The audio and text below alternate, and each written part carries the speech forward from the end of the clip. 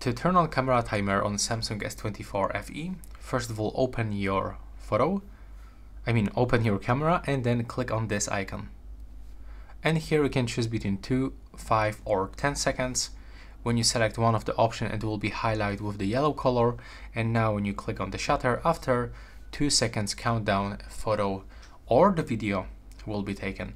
So as you can see that's how it actually works. Mm, thanks for watching and right now please subscribe.